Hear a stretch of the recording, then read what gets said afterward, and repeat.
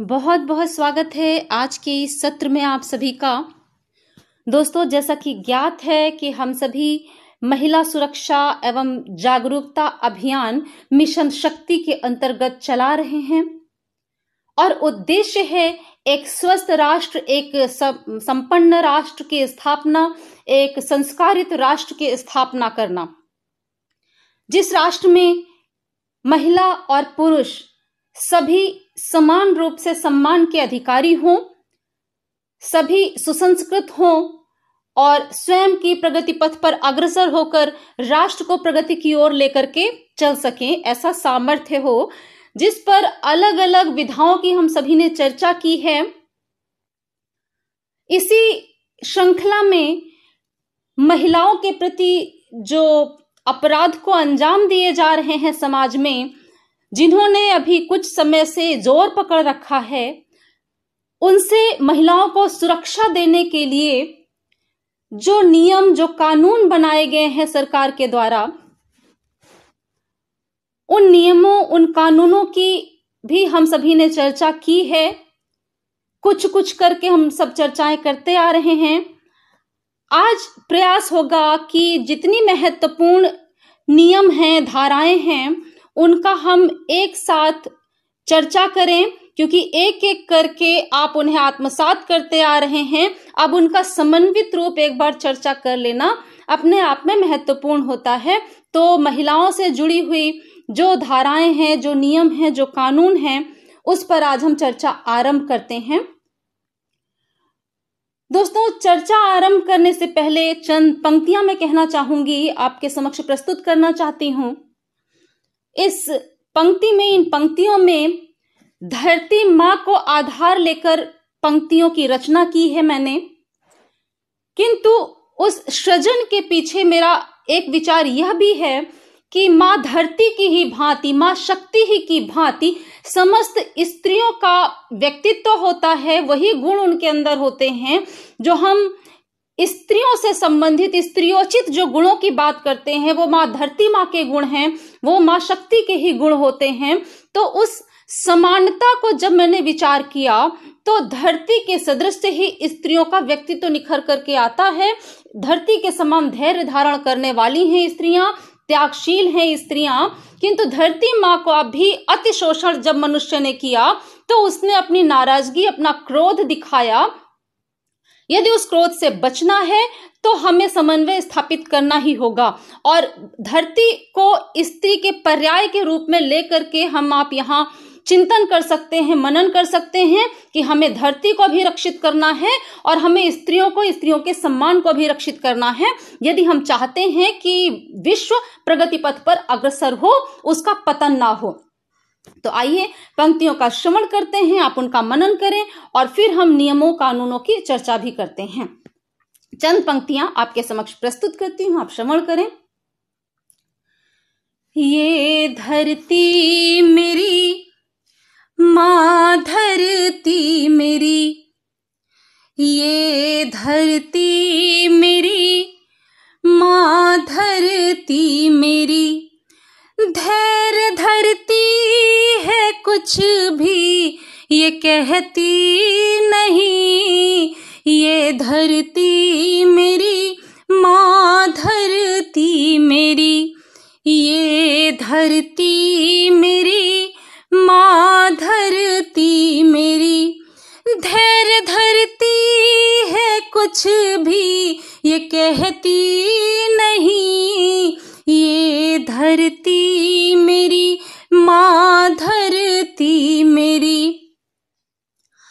बाल को सम करे नित्य पोषित हमें। बाल को सम करे नित्य पोषित हमें। ये तो आराध्य है, क्यों समझते नहीं? ये तो आराध्य है क्यों समझते नहीं? ये धरती मेरी माँ धरती मेरी, ये धरती मेरी माँ धरती मेरी। माँ धरती और स्त्रियों के व्यक्तित्व पर आप चिंतन करें, मनन करें, तब तक हम आज की श्रृंखला आगे बढ़ाते हैं, नियमों और कानूनों पर चर्चा करते हैं, पर हम साथ के साथ इस संपूर्ण कविता का पाठ प्रस्तुत करेंगे आपके समक्ष, जिससे आप उस कविता पर भी चिंतन कर सकें, मनन कर सकें। किंतु पहले हम कुछ नियमों, कुछ कानूनों की चर्चा करेंगे। तत्पश्चात कविता पाठ आपके समक्ष प्रस्तुत करेंगे। Crime against women, a legal perspective. हम नियमों कानूनों की बात करने जा रहे हैं, यानी लीगल पर्सपेक्टिव क्या है जो क्राइम वुमेन्स के अगेंस्ट किए जा रहे हैं? उनसे किन नियमों और कानूनों का प्रयोग करके महिलाओं को सुरक्षित किया जा सकता है? The difference between a man and a women has certainly taken a form of a monster निसंदेह, जब इस प्रकार के जघन्य अपराधों को अंजाम दिया जा रहा है समाज में तो स्त्री और पुरुष के बीच भेद की एक लंबी चौड़ी दीवार खड़ी हो गई है। दोनों, दो छोर से नज़र आ रहे हैं। एक दैत्य बनकर के खड़ा हो गया है, स्त्री और पुरुष के बीच की यह भिन्नता। There would be no women in India if we do not act now अब समय आ गया है। हम सभी को आवाज़ उठानी होगी। यदि हम चाहते हैं हमारा देश और यह संपूर्ण विश्व सुरक्षित रहे, संपन्न रहे तो स्त्रियों के विरुद्ध जो क्राइम हो रहे हैं, जो अपराध हो रहे हैं, उनके विरुद्ध हमें आवाज़ उठाना होगा, स्त्रियों को सुरक्षित करना होगा। आइए हम चर्चा करते हैं कि ऐसे कौन कौन से अपराध हैं जो आज के समय में ज़ोर पकड़ रहे हैं। क्राइम अगेंस्ट वुमेन दोस्तों kidnapping eve teasing chain snatching rape sexual harassment domestic violence honour killing cyber crime dowry death acid attack stalking assault to outrage modesty women trafficking ये वो अपराध हैं जो आजकल आम हो गए हैं। सामान्य दिनचर्या में भी सुनने में आ जाता है और अक्सर देखने में आ जाता है इस तरीके के अपराध। जिनमें आप जानते हैं किडनैपिंग क्या है, किसी भी व्यक्ति को बलपूर्वक उसके इच्छा के विरुद्ध उस गार्जियनशिप से, जहाँ वो रह रहा है, उसे लेकर के जाना forcefully that is kidnapping eve teasing आपको पता है, ऐसा एक्ट करना या ऐसे शब्दों का प्रयोग करना जो सेक्सुअलिटी के नेचर का हो और महिलाओं को परेशान करता है। जिसे आप ईप टीजिंग कहते हैं, इन सभी को अभी हम विस्तार से आगे चर्चा करेंगे। चेन स्नाचिंग आप बहुत अच्छे से जानते हैं, ये नित्य प्रति की समाचार हो गई है, खबर हो गई है, जो न्यूज़पेपर में आपको पढ़ने को मिल जाती है। रेप इस पर भी हम विस्तृत चर्चा करेंगे। सेक्सुअलिटी से रिलेटेड है। वैसे इसका एक विस्तृत व्याख्या की गई है, जिसे आप रेप के अंतर्गत लेते हैं। सेक्सुअल हैरेसमेंट डोमेस्टिक वायलेंस आपके आसपास ही आपको देखने के लिए मिल जाता है। ऑनर किलिंग भी आप जान, समझते होंगे, शब्द आप समझ सकते हैं। Cyber crime dowry death acid attack stalking stalking क्या है? लुक छुप कर किसी का पीछा करना। जिसे हम साइबर माध्यम से भी देखते हैं कि ऑनलाइन किस प्रकार से पीछा किया जा रहा है और ऑफलाइन भी आपको स्टॉकिंग जैसी घटनाएँ देखने को मिलती हैं। एसॉल्ट टू आउटर्स मोडेस्टी किसी स्त्री की लज्जा या शील भंग करने के उद्देश्य से उस पर किया गया आक्रमण। That is called assault to outrage modesty women trafficking महिलाओं की तस्करी जिसे आप वुमेन ट्रैफिकिंग कह रहे हैं, इन सभी के साथ मैंने अलग अलग सेक्शंस को शो किया हुआ है। ये वे सेक्शंस हैं आईपीसी के अंतर्गत अलग अलग सेक्शंस में अलग अलग अपराध से महिलाओं को सुरक्षा देने का प्रयत्न किया गया है। तो यहाँ जो जो सेक्शन मेंशन किए गए हैं, वो उस पर्टिकुलर अपराध से महिलाओं को सुरक्षित करने का प्रावधान है, जिसे आईपीसी के तहत बनाया गया है। आईपीसी अर्थात इंडियन पेनल कोड जिसे हम हिंदी में भारतीय दंड संहिता कहते हैं। इंडियन पैनल कोड या भारतीय दंड संहिता, जिसे उर्दू में हम ताज इराते हिंद कहते हैं। तो भारतीय दंड संहिता, ताज इराते हिंद या इंडियन पैनल कोड के अंतर्गत ये धाराएँ निर्धारित की गई हैं, जो कि स्त्रियों को इस पर्टिकुलर अपराध से सुरक्षा प्रदान करने के लिए है, जो आप उस अपराध के समक्ष लिखा हुआ देख पा रहे हैं। जहाँ सेक्शंस नहीं लिखे हैं, उनसे संबंधित भी अलग अलग नियम कानून बनाए गए हैं, जिनकी आगे हम विस्तृत चर्चा करने वाले हैं। तो आइए दोस्तों, हम आगे बढ़ते हैं।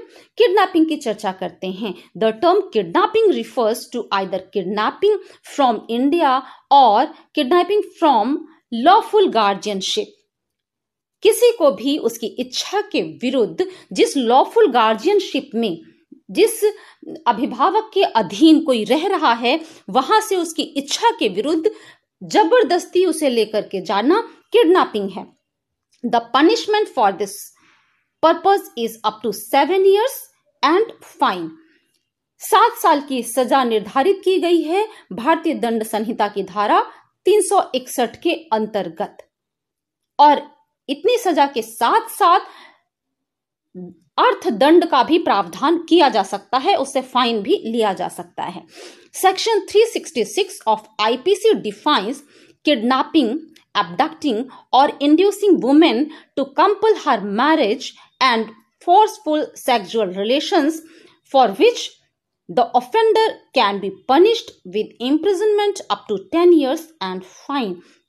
यदि विवाह के लिए उसे फोर्स करने के उद्देश्य से, उसे ज़बरदस्ती विवाह के लिए तैयार करने के उद्देश्य से किसी की किडनैपिंग की जाती है, किसी को फोर्सफुली सेक्सुअल रिलेशन में इन्वॉल्व करने के लिए उसकी किडनैपिंग की जाती है तो आईपीसी की धारा 366 के अंतर्गत दंड का प्रावधान किया गया है, जिसके अंतर्गत 10 साल की सजा और साथ में अर्थदंड का भी प्रावधान किया जाता है। दोस्तों, रेप, जो आजकल कुसंस्कारों की बेल ऐसी बढ़ चली है कि रेप भी आम हो गया है। आए दिन आपको सुनने में आ रहा है, rape is a much broader term to be defined and its scope is of wider perspective. It is the most common crime against women and the Indian society and system has failed to end this heinous crime इस जघन्य अपराध के विरुद्ध ऐसा प्रतीत होने लगा जैसे पूरा सिस्टम फेल हो गया है। तो आज समय आ गया है हम सब मिल करके महिलाओं को जागरूक करें, क्योंकि नियम है, कानून है, संभवतः जागरूकता की कमी है। जिस दिन समाज जागरूक होगा, महिलाएँ जागरूक होंगी, सशक्त होंगी, इन नियमों, कानूनों का प्रयोग समझ पाएँगी तो निसंदेह वो सुरक्षित रह पाएँगी। तो हम सिस्टम का सहयोग करें, जिससे वो महिलाओं को सुरक्षा देने की दिशा में सफल हो सके। The law system has failed purely the world is seeing India as a nation of rapist और कितनी दुखद है।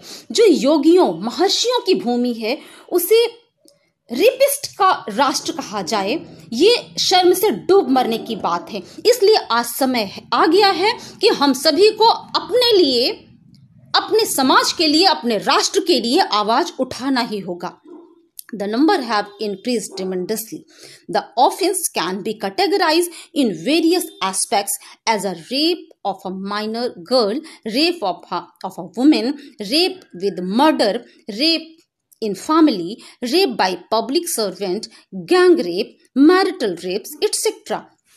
किस कंडीशन में उस जघन्य अपराध को उस हिनस क्राइम को अंजाम दिया गया है उसके अकॉर्डिंग अलग अलग धाराएँ निर्धारित की गई हैं जिसके तहत अलग अलग सजा का प्रावधान किया गया है दोस्तों माइनर गर्ल यानी कि जो नाबालिग लड़की है, यदि उसके साथ इस तरीके के कुकृत्य को अंजाम दिया जाता है तो प्रथम दिवस में ही हम, हमने आपने डिस्कस किया था कि बच्चों को सुरक्षा प्रदान करने के लिए पॉक्सो एक्ट 2012 निर्धारित किया गया है P O C S O POCSO.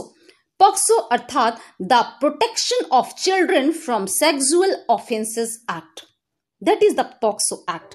The protection of children from sexual offences बच्चों को यौन शोषण पोर्नोग्राफी जैसे अपराध से बचाने के लिए महिला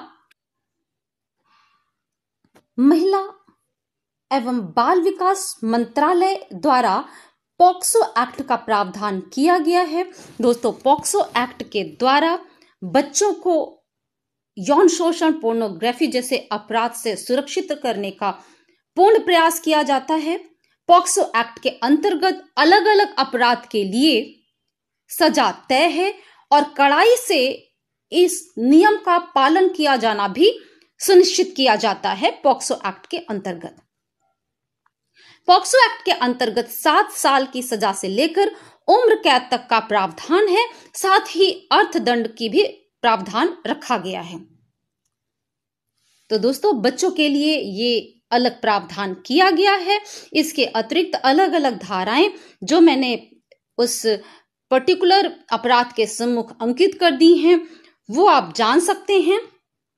कुछ धाराएँ हम पहले भी डिस्कस कर चुके हैं, जैसे भारतीय दंड संहिता की धारा 294 दो सौ चौरानबे जिसके अंतर्गत सार्वजनिक स्थान पर बुरी गालियाँ देना, अश्लील गाने गाना, इशारे करना, कविता करना इत्यादि। ये अपराध हैं जिसके द्वारा किसी महिला को, किसी बालिका को परेशान किया जाता है और यह दंडनीय प्रावधान है। इसमें अधिकतम तीन महीने की सजा का प्रावधान रखा गया है।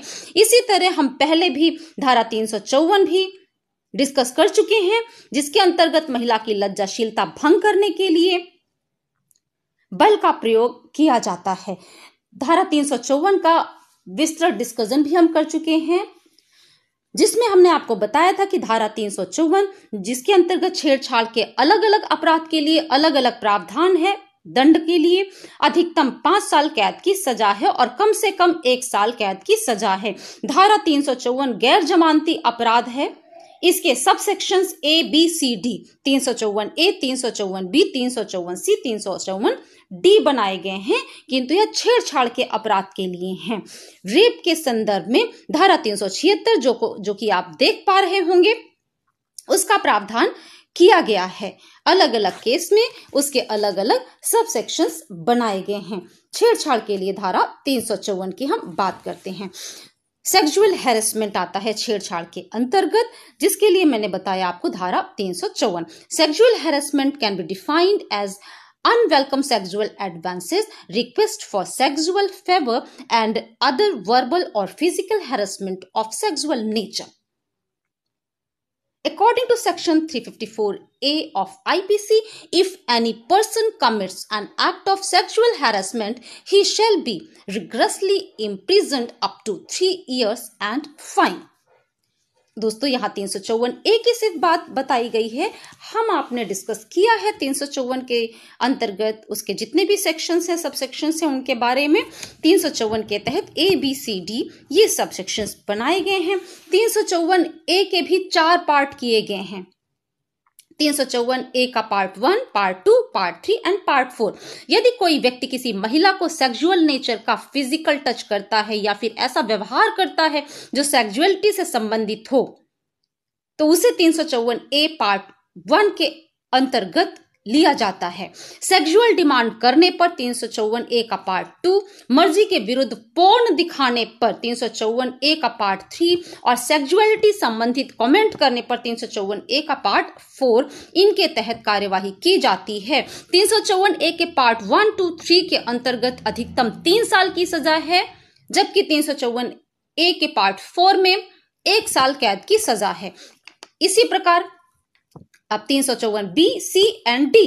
तीन सौ चौवन बी पर यदि आते हैं, यदि कोई व्यक्ति किसी महिला को जबरन निर्वस्त्र करने का प्रयत्न करता है या इसके लिए उसे उकसाता है तो प्रावधान किया गया है दंड का। तीन से लेकर सात साल तक कैद की सजा का प्रावधान है यह गैर जमानती अपराध है। तीन सौ चौवन सी, महिला के प्राइवेट एक्ट का फ़ोटो लेना या उसे बांटना। अपराध की श्रृंखला में है। इसके अंतर्गत एक से लेकर तीन साल तक कैद की सजा का प्रावधान है। प्रथम बार दोषी पाए जाने पर। और यदि दूसरी बार वही व्यक्ति इसी कृत्य के लिए दोषी पाया जाता है तो उसके लिए तीन से सात साल तक कैद का प्रावधान है। यह भी गैर जमानती अपराध है। दोस्तों, तीन सौ चौवन डी, जिसके लिए अभी हम स्टॉकिंग आगे चर्चा करने वाले हैं। तीन सौ चौवन डी चर्चा में आगे आएगा। तीन सौ चौवन डी के तहत प्रावधान है पीछा करना और कांटेक्ट करने का प्रयास करना। इसके तहत तीन साल की सजा का प्रावधान किया गया है। Domestic violence is yet another term which is common in our country as women were and are considered to be the inferior start of human society दोस्तों, समाज वर्गों में विभक्त है अलग अलग संप्रदाय हैं अलग अलग जातियाँ हैं आप ध्यान से देखिए, इन सभी संप्रदायों, इन सभी जातियों में जो सबसे नीचे का स्तर आता है, वो स्त्रियों को हमेशा से प्रदान कर, किया जाता रहा है।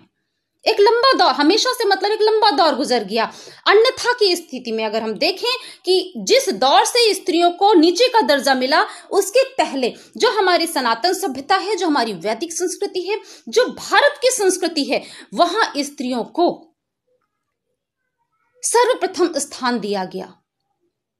उसी संस्कृति, उसी सभ्यता का कारण है कि आज भी हम जब पूजा करने बैठते हैं तो हम लक्ष्मी नारायण कहते हैं, हम गौरी शंकर कहते हैं, हम राधा कृष्ण कहते हैं। हम पुत्रों को स्त्रियों के नाम से पहचानते थे, रहे हैं। ये है भारत की सभ्यता। फिर कैसे उस पर ग्रहण लग रहा है? हमारा आपका दायित्व तो है कि हम उस ग्रहण को हमेशा के लिए हटाकर पुनः स्त्रियों के उसे सम्मानित स्तर को व्यवस्थित करें, बनाए और सदा बनाए रखने का प्रयत्न करें। This act of violence include beating rape forced sex etcetera section 498 A of domestic violence act 2005 defines one year punishment and fine दोस्तों डोमेस्टिक वायलेंस जिसे सामान्यतः लोग इग्नोर करते चले जा रहे हैं।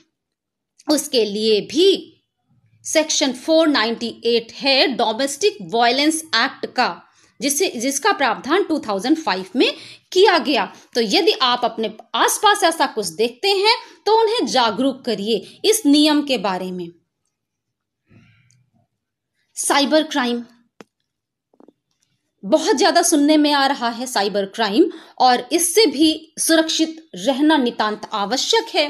In the world of technology, India too had advanced itself in technology and the women are an equal part of it. But the diseased mind have not left any chance to offend women in the cyber world too. There are several cyber crime such as bullying, abusing, pornography, etc., which are happening each day against women.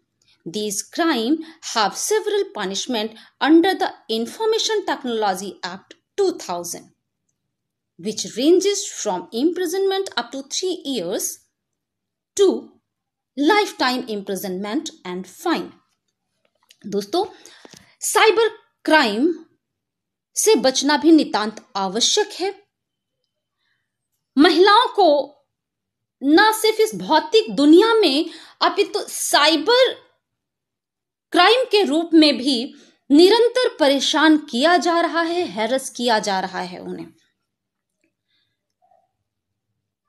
जो व्याधिग्रस्त मस्तिष्क हैं, बीमार व्यक्ति हैं दिमाग से, जिनका मस्तिष्क ठीक से काम नहीं करता, वही इस प्रकार की एक्टिविटीज़ करते हैं, और उसका बुरा प्रभाव स्त्रियों को बर्दाश्त करना पड़ता है, झेलना पड़ता है और अंततः वह प्रभाव हमारे राष्ट्र पर दिखाई पड़ता है। तो ऐसे राष्ट्रद्रोहियों के विरुद्ध कार्यवाही करने के उद्देश्य से इंफॉर्मेशन टेक्नोलॉजी एक्ट 2000 का प्रावधान किया गया है, जिससे महिलाएँ साइबर दुनिया में सुरक्षित रह सकें, साइबर क्राइम से खुद को सुरक्षित रख सकें। इंफॉर्मेशन टेक्नोलॉजी एक्ट 2000 के अंतर्गत तीन साल से लेकर लाइफ टाइम इंप्रिजनमेंट तक का प्रावधान किया गया है और इसके साथ ही फाइन भी लिया जा सकता है, अर्थदंड का प्रावधान भी किया जा सकता है। डावरी डेथ एक लंबे समय से दहेज प्रथा डावरी के बारे में आप सुनते चले आ रहे हैं। The evil practice of taking dowry in the marriage is still common in the rural areas of India दोस्तों, सच कहें तो ये सिर्फ़ रूरल एरियाज़ की बात क्यों कहें? बड़ी बड़ी जगहों पर रहने वाले लोग भी दहेज प्रथा में लिप्त पाए जा रहे हैं, दहेज लेना और देना अपनी शान समझ रहे हैं। Which if opposed result to the death of women gradually यदि इस दहेज प्रथा का विरोध करती हैं महिलाएँ तो कई बार ये इसका परिणित जो होती है, वो उनकी मृत्यु के रूप में, उनके डेथ के रूप में होती है। The number of such deaths has increase in the recent years section 304 B 304 B was added to the Indian penal code IPC के अंतर्गत धारा 304 बी का प्रावधान किया गया है। डावरी डेथ से रिलेटेड है धारा 304 B. And also the section 498 A of IPC which made dowry death a specific offence punishable with minimum sentence of imprisonment for seven years and maximum imprisonment for life सात से लेकर उम्र कैद तक सजा का प्रावधान किया गया है। सात वर्ष की सजा से लेकर उम्र कैद तक की सजा का प्रावधान किया गया है। 398 ए के तहत 304 बी और 398 ए ये दहेज से संबंधित हैं। दहेज प्रताड़ना रोकने के लिए इन धाराओं का प्रावधान किया गया है। तो इनके बारे में स्वयं जागरूक बने अपने आसपास लोगों को जागरूक करें, जिससे दहेज जैसे दैत्य को हमारे समाज से हम उखाड़ फेंक सकें। एसिड अटैक्स बहुत सारे मामले आप सुनते हैं। कितना जघन्य अपराध है, जहाँ एक निर्दोष स्त्री पर एसिड फेंक दिया जाता है, उसे तिल तिल कर मरने के लिए छोड़ दिया जाता है। जो जीवन मृत्यु की इस जंग में जीत जाती हैं जीवन उन्हें मिल पाता है वो भी पूरी ज़िंदगी समाज से लड़ती हैं और अपने विकृत हुए शरीर से लड़ती हैं अपनी भावनाओं से लड़ती हैं ऐसे जघन्य अपराध को भी रोकने का प्रयत्न किया जा रहा है दोस्तों विभिन्न प्रकार के नियमों और कानूनों के माध्यम से However, sale of the assets without proper information have been banned by the government of India. बिना किसी प्रॉपर इंफॉर्मेशन के एसिड की बिक्री नहीं की जा सकती, इस पर बैन लगाया गया है गवर्नमेंट ऑफ़ इंडिया के द्वारा।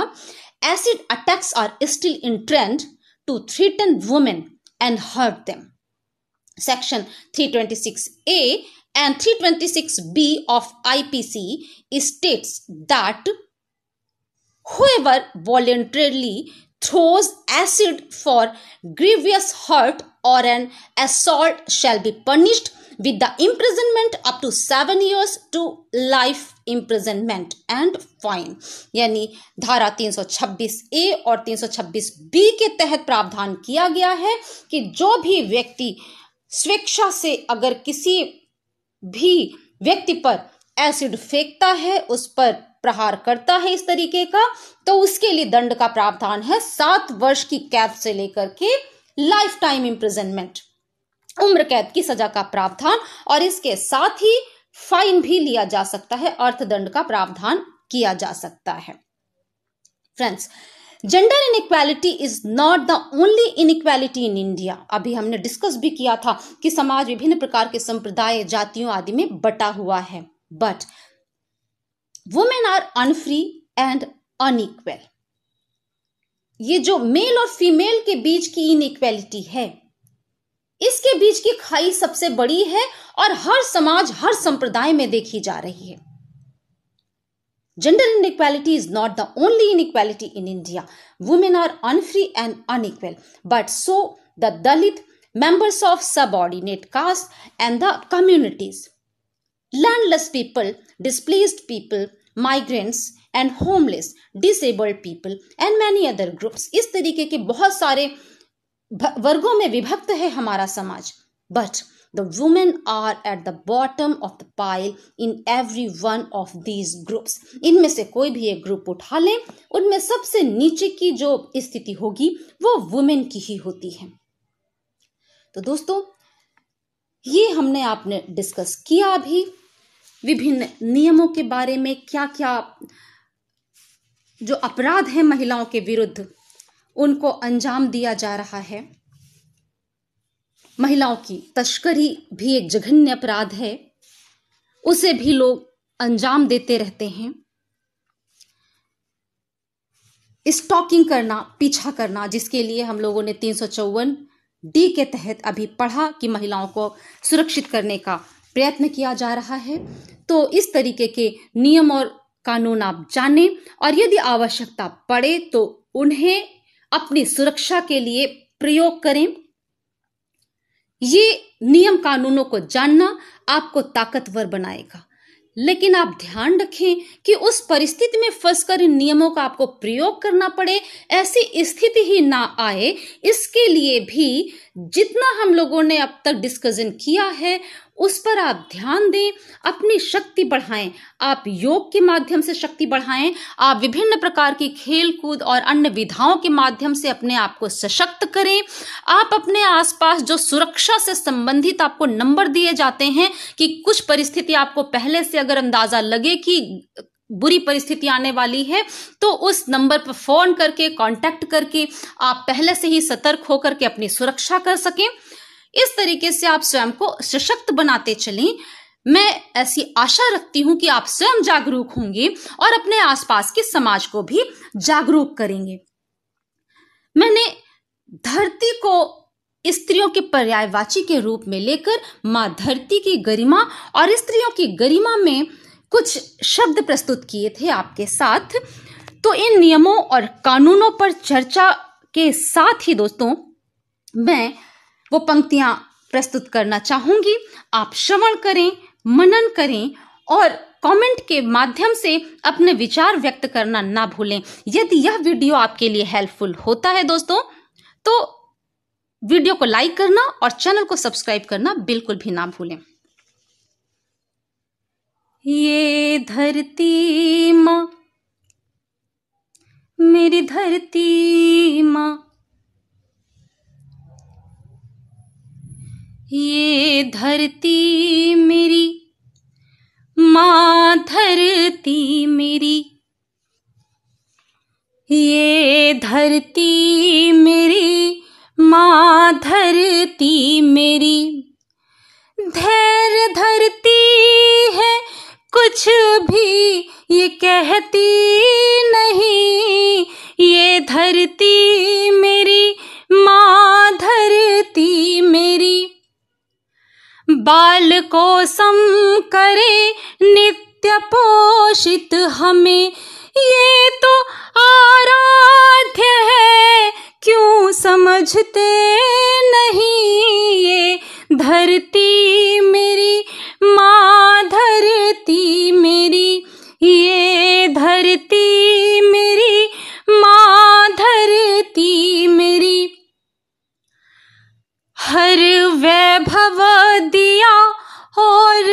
कुछ ना लिया, हर वैभव दिया और कुछ ना लिया। रत्न गर्भा की महता समझते नहीं। ये धरती मेरी माँ धरती मेरी, ये धरती मेरी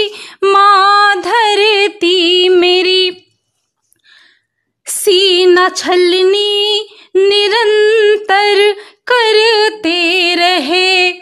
सी न छलनी निरंतर करते रहे। तुझे धरणी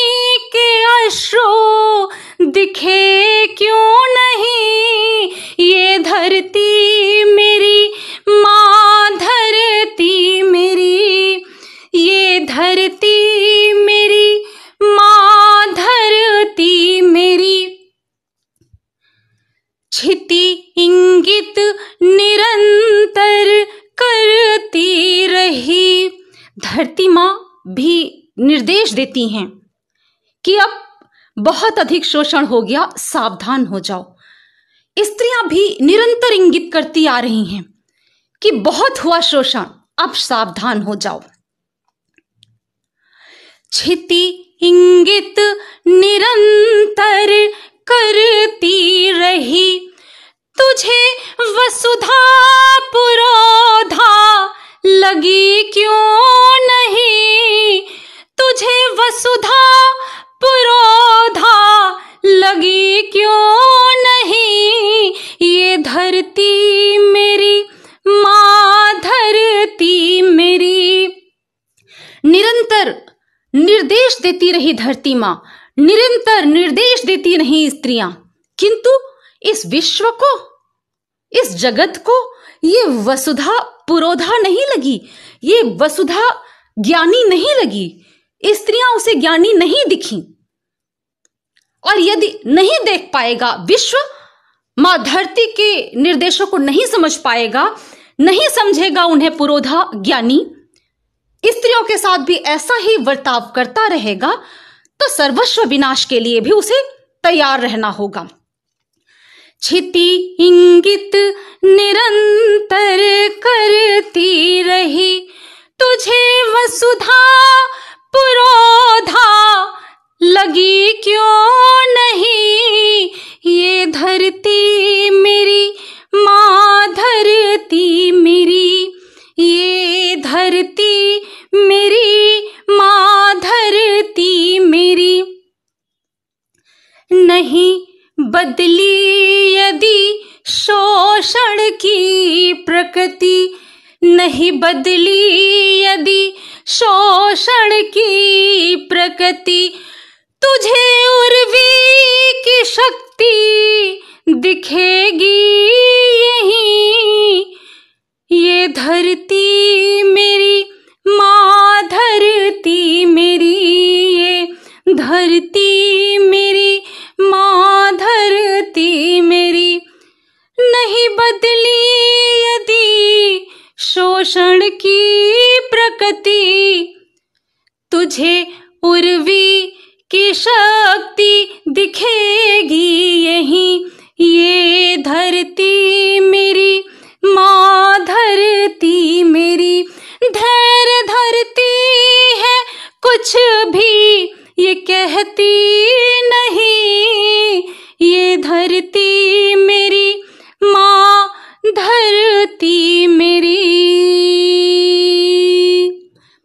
जय हिंद जय भारत।